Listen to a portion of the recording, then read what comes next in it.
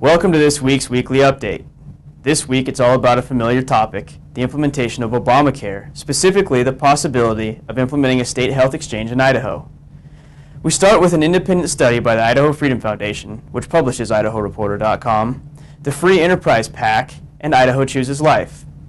The three organizations polled 600 Idahoans, all registered voters, both Republicans and Democrats, asking if they supported big government ideas regarding the healthcare markets. Just 23% said they believed the Supreme Court ruling on Obamacare was good for the country, while 61% believed it wasn't. As far as implementing a state health exchange, 64% were against doing so, with just 18% saying they were in favor of it. With regards to the possible expansion of Medicaid in the state, which the Congressional Budget Office estimates would cost taxpayers $800 billion in its first decade, 63.5% oppose expanding the program in Idaho. Wayne Hoffman, executive director for the Idaho Freedom Foundation, released a video response about the polling results as well.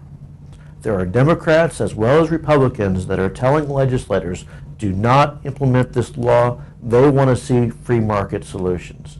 And to that end, we'll do everything we can to help remind legislators that there are free market solutions, and we'll be happy to help them reach those conclusions as the 2013 legislative session unfolds. Sticking with Obamacare, Representative Steven Thayn from Emmett has put together a report outlining his concerns with the implementation of Obamacare. Thayn wrote a guest opinion for IdahoReporter.com where he outlined some of his concerns. Thayn believes that Obamacare will increase the cost of medical care, reduce access to care, and reduce the number that are able to afford private health insurance. Thayn says that under Obamacare, costs will rise because within the law, there is no increase to the number of doctors, nurses, or hospitals. The only thing it does is increase the number of mandated services.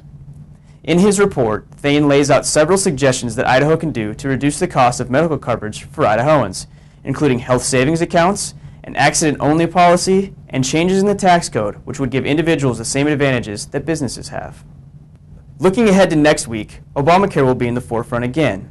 On Monday, the Healthcare Task Force will be meeting in the Capitol in East Wing, Room 42. The committee is made up of 14 legislators, seven House members, and seven Senate members. The meeting is open to the public and will also be streaming live over the internet. To listen to the live stream, visit www.legislature.idaho.gov. Also next week, IdahoReporter.com looks into the Treasure Valley's public transportation system, Valley Ride, and the costs associated with it. To stay up to date with IdahoReporter.com, visit our website, like us on Facebook, or follow us on Twitter at Idaho Reporter. Thank you for watching this week's weekly update. Have a great weekend.